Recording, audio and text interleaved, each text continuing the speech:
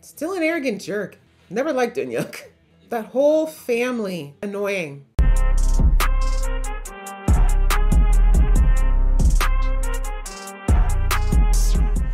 Guys, it's your girl Aisha, aka Geek and we are back with another reaction to Sweet Home, the final season. We are now on to episode five. So the last episode was a little bit of an emotional one. We see that we have again lost Dee Kyung at the hands of her horrible ex-fiance. She went back to the stadium to try to cut through to her daughter. She actually did succeed, gave her a name, Isu, and then they were trying to leave, but they were caught and it just ended badly, unfortunately. So now Isu is definitely anti-dad, but it's a little too late because he's determined to try to get in that body one way or another. On the other side of things, we see that Monster Hyun-soo is on his way to the stadium after discovering that Sang-won or whatever the name is he had before is at is at the stadium. He's got beef with his monster, so he wants to go there and basically show that he's not the weakling that he was back in season two, although I really don't think he was a weakling. But anyway, so he's on his way there, and we also see that Anu and the soldier and the crazy girl are also on their way because Anu's like, hey, everyone's at the stadium and it's going to be bad. And finally, we saw Unyuk. Finally, Unyuk has been re revealed. He is a neo-human, but he's a little bit different than the ones we've seen in that basically he's immortal. So every time his body dies, he can go back into a cocoon and re be reborn perfectly healthy. So that's what we learned in the last episode. Again, all roads leading to the stadium. So I'm excited to see where we're going to go with this episode. So let's jump in. Just before I do though, a reminder that if you'd like to be in the know when I drop these episodes, please go ahead, hit that subscribe button and that notification bell so you're in the know. All right, that out of the way, let's get into the episode right now.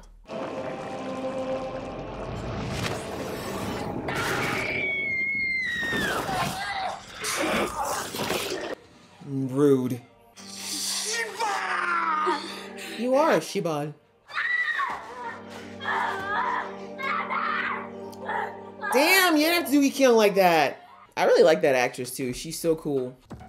겨우 여기까지 온 거야? That's funny.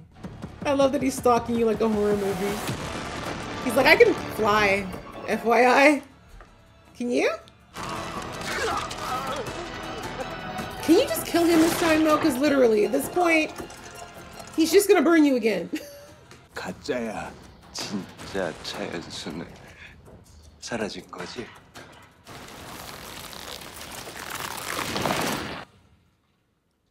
I feel like he still didn't kill him. He should have.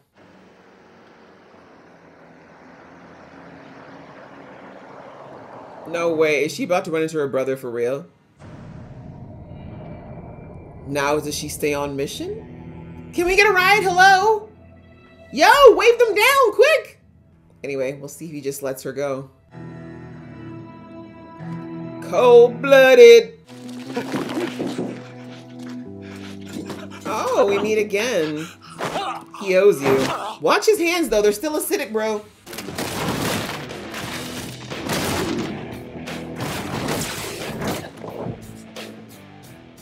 Ew. Do you want to make out with me or what? 네가 내려준 건 아니고 그래 보여? I keep telling you, you need to find another form for that, bro. It's so slow. Still an arrogant jerk. Never liked Unyuk. That whole family. Annoying.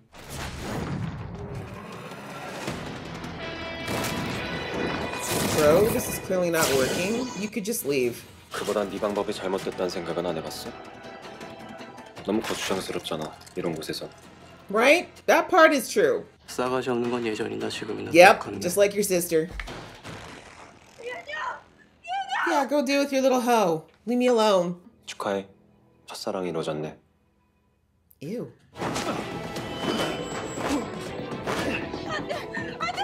Of course. You're not even figure actually he doesn't care. That must be satisfying, even though if it's useless. Look out! Kim! Kim! Kim!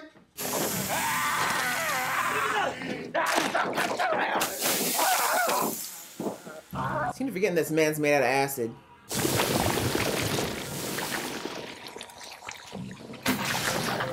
Yeah. You boys done? 내가 말했지 찾는 사람 있다고. Yeah, I think he figured that part out, sis. He's not that slow. you called him Oppa. I think he got it. 이제는 뭘 할 건데? 응원 정도? 아무것도 안 하겠다는 개소리를 뻔뻔하기도 하네. Exactly. Like always. Like always. 나갈 수 있겠냐? Exactly. I have to carry your ass.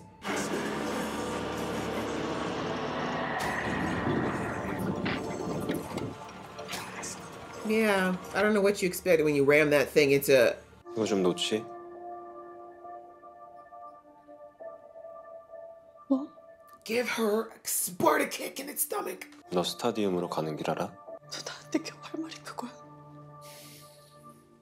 Um, I've kind of always been a dick. You knew that. 너 나 찾아온 거 아니었어? Oh, no, you're not the center of the universe, sweetie. Someone needs to tell you. 돌아온다며. 근데 Yeah, 어떻게 but 이렇게 he didn't 멀쩡하면서 say that he'd come back for you, to be specific. 대체 얼마나 기다려서 여기까지 왔는데 한 번도 안 나타나? 내가 왜 그래야 해? 오빠잖아. No, weren't you the one who always reminded him that he wasn't your brother, though? I seem to remember that.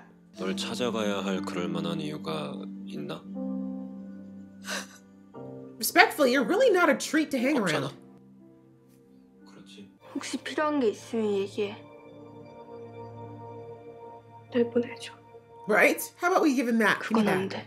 Oh, Jesus. Now you're adding addendums. Sis, call your monster friends immediately. All of them.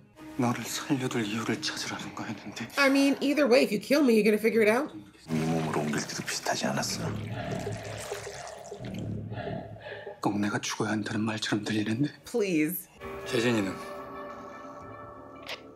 아직이에요. 어딜 간 거야? He's bringing his hippity hoppy ass there, sadly.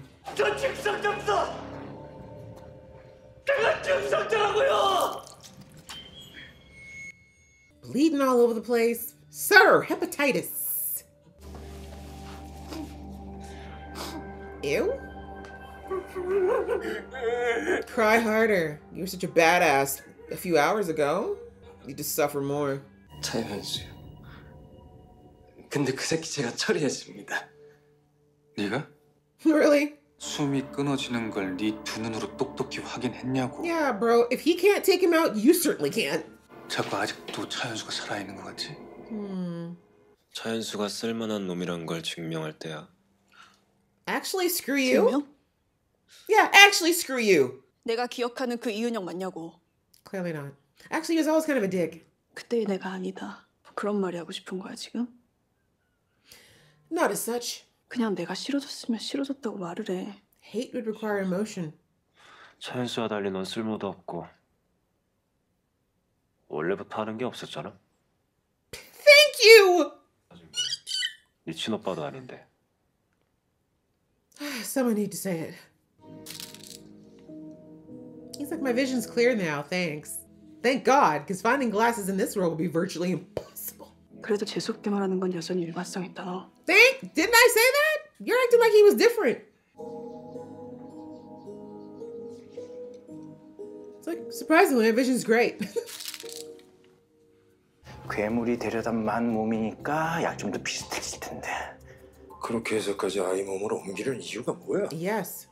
빨리 가서 재워와요 빼자마자 바로 맞자고 Open who up? The girl?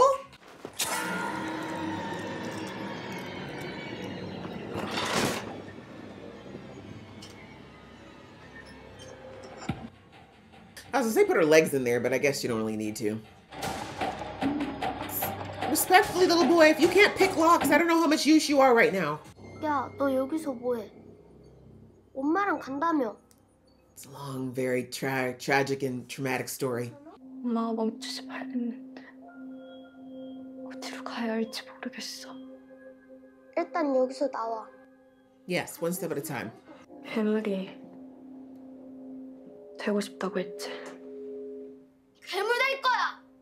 괴물 돼서 널 I 다 mean, he didn't really 죽여버릴 mean 거야. it. He's like 10.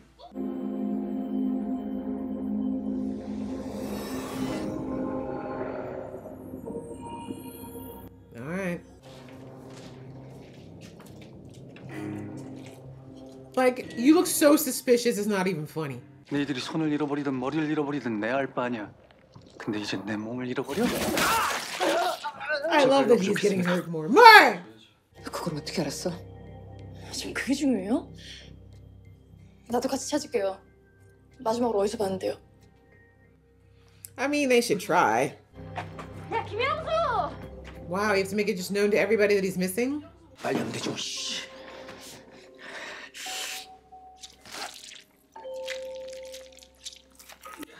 Does he know what's wrong with her?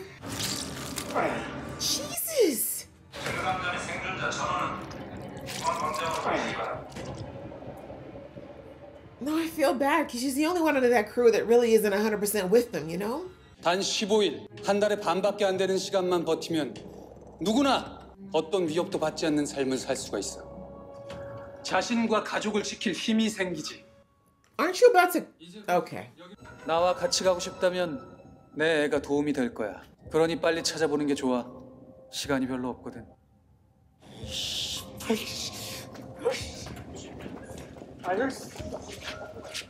What is his problem now? 동준아 말씀 안 하셔도 됩니다. 저희가 바뀌는 건 없습니다. 저희 모두 뜻에 따르겠습니다. Bless their loyal hearts. 쓸만할 줄 알았는데 생각만큼은 아니었던 걸로. 아이 좀 가려서 해. 기다릴 필요가 있을까? 넌 사람 버리고 가는 게 습관인가 봐. A little bit. 차현수, 이은영. 난둘 다 포기할 생각 없으니까. She literally has nothing better to do.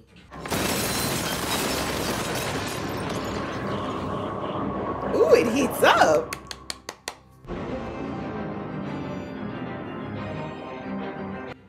He's like, I didn't even know I could do that my own self, guys. I didn't even know I could do that my own self. All right, well, we have a very interesting episode here. Um, a little fillery, but not too bad. I think the main things I took away from this are we see that the body that Sungwon is in is is taking damage. Like he can't even heal it properly anymore, so it's deteriorating. Thank God to the original host. He really is just saying screw you to this guy, and I'm loving every minute of it. But yeah, as we see, like his legs jacked up, now his eyes not healing. You see the ear, so he literally is a timer. Like he's probably got another. Like actually, I think I think the body will maintain itself as it is, but if he takes any more serious damage, he's not going to be able to survive it. Like he's not able to heal anymore. So this is why he's so desperate to body jump now because he knows now if he cannot find a way to jump anymore, he will die in that body. So we see that thankfully Isu was able to push him out. Like he did try to jump into her and she pushed him out. So again, I don't know if that could be a combination of the fact that the body is still holding him captive, but I also do think she pushed back. I don't think she knows how she did it, but that's very helpful because like I said, I do think still that it's going to become a showdown of her fighting to keep him out and doing her best to like do that. And then probably I just feel like he's going to jump her body at some point and it's going to be a fight for her soul but we'll see. I'm hoping it doesn't come to that but I sense it might. But anyways so we see that the scientists, unsurprisingly a because he's an absolute psychopathic sci- scientist but also because he's trying to continue to preserve his life gave him the key potentially to breaking out of this body which he said that every time you've ever really body jumped it's been because the body you were in was in danger of dying. So it wasn't just something you just randomly did every time you've done it. He's like, think back, what was the trigger? It was you being either in immeasurable pain that you couldn't take anymore, or you thought you were gonna die. So he's like, I think you need to put yourself back into that mindset to force the jump possibility. So he's saying that he's preparing something, he's gonna burn himself. And basically, when he gets to the point, obviously, when that body can't take any, because remember, all monsters are susceptible to fire that we've seen. So even the neo humans. So he's like, I'll do that. And then obviously, I'll have her nearby. And then I should be able to do it. So that's kind of what he's planning. And uh, thankfully, that didn't necessarily happen. We see that while Isu got captured, the girl, I don't know what the scientist is doing with the girl. That's the part I'm confused about right now. I don't know what he wants with Spider Girl, but she was already suffering from something. And I don't, I feel like the scientist knows what's going on or has an idea. I don't know. But he wanted to cut into her stomach, which we've seen she was holding her abdomen the last two episodes and we don't know why. So I think he knows something. What it is, I don't know, but clearly there's a reason he wanted her. So it just, oh, like I said, it just broke my heart to see he was just rooting around in her abdomen though. Like she's still a person.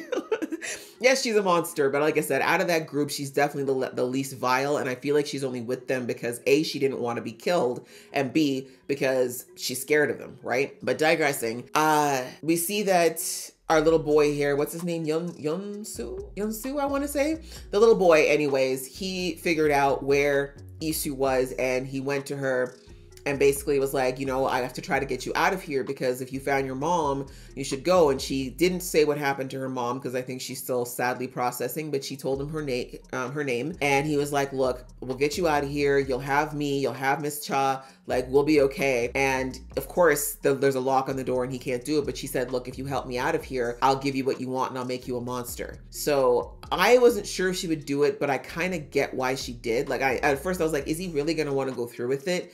But he's like what? I think he's supposed to be like 10 years old in this show. So i i get it. You know he's been through so much in the past year. He's lost everybody that he's cared about for the most part. He's getting bullied. He just feels powerless and it seems like monsters have all the power. So i get him thinking that you know what? If this stops me from being the victim if this stops me from losing anymore, then I'll take it. So again, I don't think he even realized what she was doing was actually real until it was probably too late. But it worked because whatever it turned him into, he got strong enough to break her out of that cage. Now, whether or not he's going to be neo-human monster or or just a regular one, I don't know.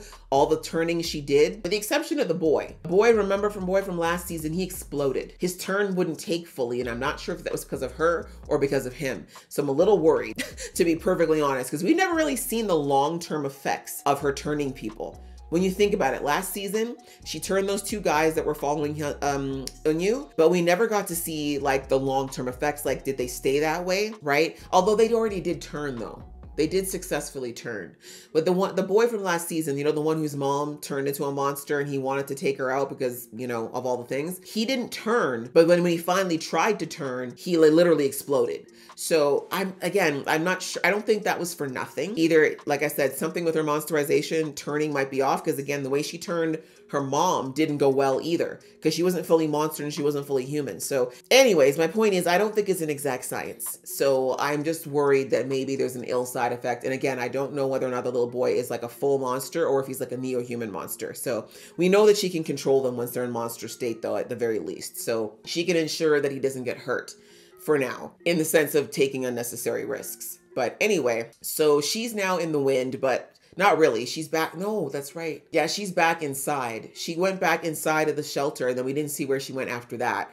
And then I don't know what happened to the boy. He still looks human, though, I think. So I'm not sure. As I said, we know she's in there, but she can't have gone far. She's even like she knows how to get out of the stadium, so to speak.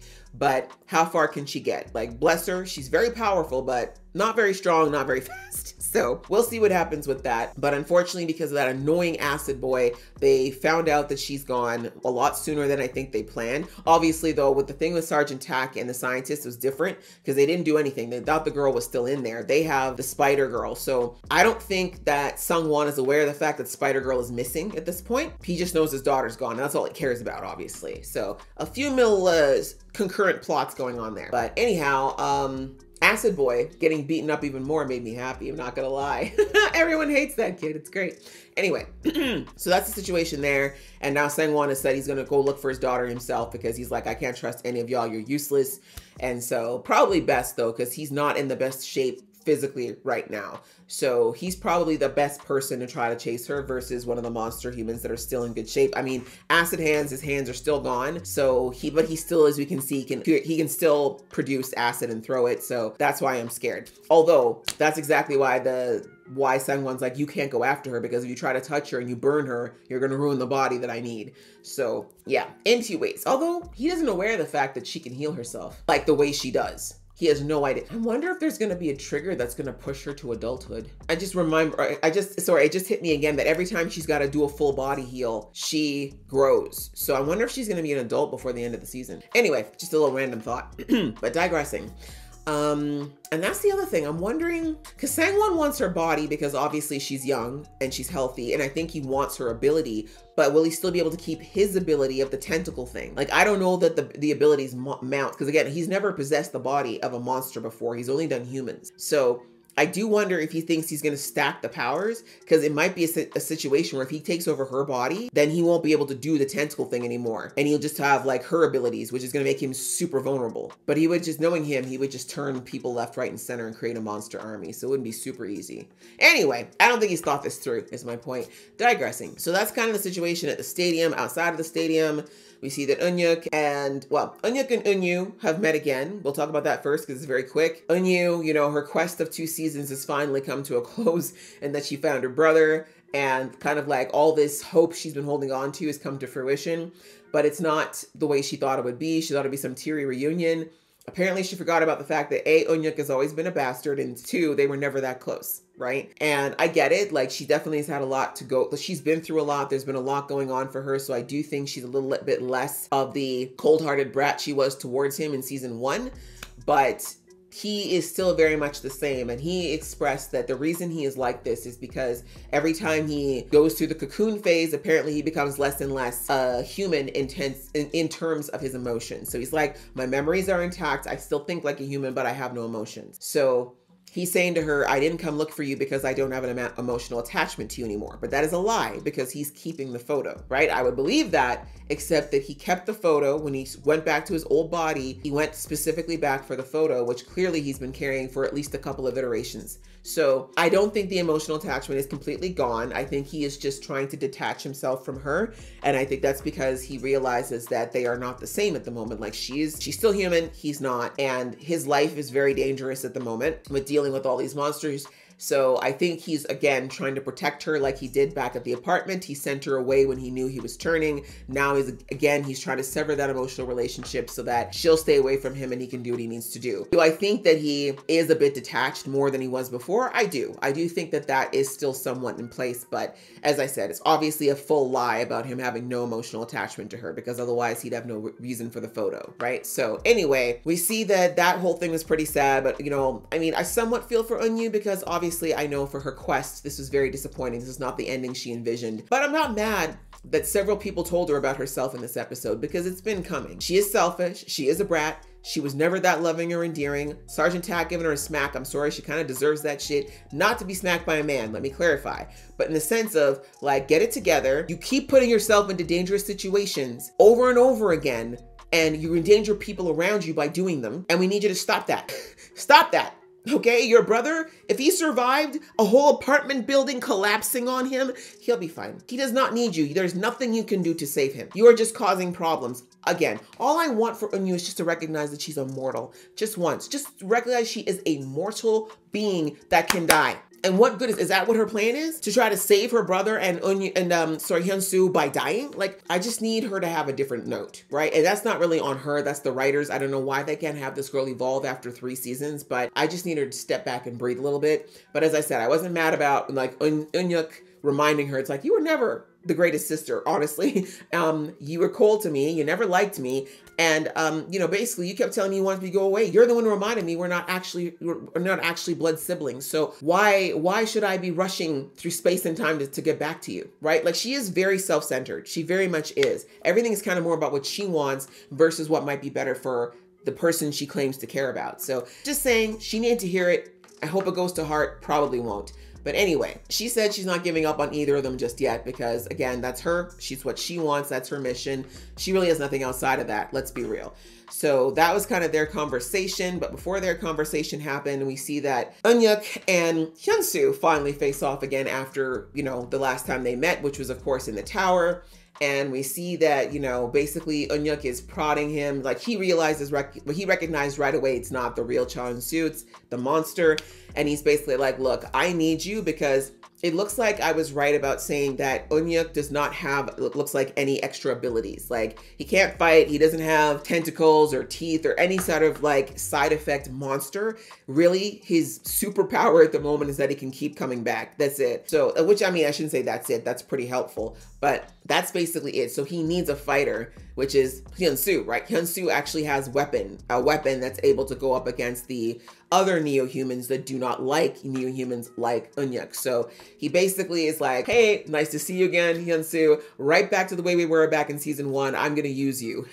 I don't really care whether you want to or not. I need you for something that I think is for the greater good. So I'm gonna use you. And so they have their little fight, but the only reason I I was I was annoyed and I am annoyed that Unyuk is just like again, much like his sister, talking down to Hyunsu like he's just a little dog. I don't like that dynamic. But that aside, I'm the reason I'm not too mad is that there is something that's been glaringly obvious with Hyunsu since season one, and that he's not in control of his monster abilities. Even the monster side of him is not in control of his monster abilities. He's got this crazy ass wing, only one, which I feel like, bro, you should be able to do both hands at this point.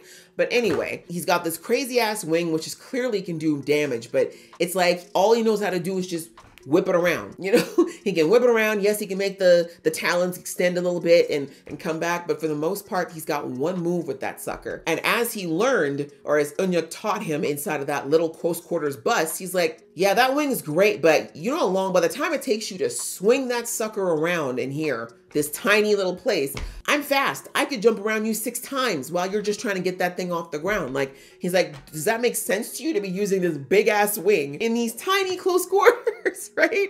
So again, for most of the other monsters that are out there, they're not, you know, mentally coordinated enough to fight. But if he's going up against the neo-humans who still have their brains intact, you know, this is reason why that Sungwon's been able to defeat him thus far is because he only has one trick, right? Hyunsu has one trick and Sungwon knows what that trick is is. So as long as he can dodge them blades, dodge them wings, he's fine. So I like that Unyuk is at least trying to be like, bro, you are capable of so much more. You need to lean into your monster. If you're gonna be the monster, right? Because right now, Monster Hyunsu's who's in control. He's like, bro, you got a smart mouth, but that's it. You got a smart mouth and one move. I need you to do more, right? So anyway, that's the only reason I wasn't so mad about that whole fight with him and Unyu, sorry, and Unyuk. Technically, Hyunsu should have wiped the floor with him, but he doesn't know what to do other than swing that arm. And that's why he said, like, bro, are you useless without that arm? Like, can you do anything if that arm isn't here? So yeah, I need Hyunsu to figure that out. I said this last year and I'll say it again. Hyunsu's got to realize that he has to embrace the monster to some degree because it's a part of him at the moment because that's the only way he's going to be able to defeat Sangwon. It's the only way,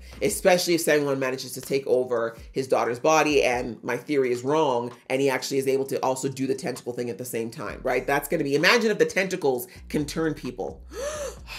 oh, terrifying. Anyway, so that happened, and we see that um, Hyunsu was trapped inside the bus for a while, but he just needed some time. He figured it out, and now we found out. I mean, we've already seen, though, back in season one, that his wings can put out like there's a black ichor that they put out that's acidic, but we also know it kind of has a burning capability. They only touched on it back in season one, but he clearly figured out that he can heat up the wings and he caused an explosion. So I think that's the biggest he's ever used it on purpose. And again, that was the whole point was that Unyuk was like, see, like there's more you can do. You need to learn to level up, bro. So yeah, we ended the episode with Hyunsu breaking out of the bus and hopefully understanding now that he can do more with his abilities. And we'll have to see what happens and how he goes from this point. Like they need to get to the stadium, stadium and they need to do it quick. But speaking of the stadium, outside the stadium, we see the Tak and the other soldier and the, the crazy girl are there, but they realize right away that things are not right. So Tak's like, I don't think we can go in. We need to know what's going on first. Otherwise, we're just going to end up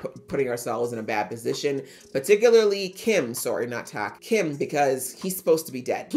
so we know that if they see him, they're going to kill him on sight. So anyway, uh, we saw that a camera filmed them though, so I'm wondering if someone does know they're already there, but we're going to have to figure that out later. But yeah, that's kind of the state of where things are right now. We have the Isu is at large as well as the little boy. Hyunsu is out of the bus, but he's now with Unyuk and Unyu, Unsu and no Unyuk and Unyu and they have to get back to the stadium at some point somehow. And that's pretty much it, right? Yeah, and then we have inside of the stadium, people are trying to escape. They're trying to see if they can create a distraction to get the people out of the stadium so that they can't be turned by whatever this ritual is that Sangwon is planning. So lots of moving parts still in this episode. I do feel like I said we could have moved a few more things forward, but we do still have some pieces in place here. Again, we know this is all leading up to a big face-off once Hyunsu finally arrives. I am very curious to see what Unyuk is planning. And there's still still the cocoon in the basement, too. Let's not forget that. Whether or not that person's going to come out and be helpful, he might actually already be down there. Now that I think about it, because remember, the lady who ran the place, she she welded herself in. So maybe she's down there just chatting with her son right now, trying to make him come back to being who he was before.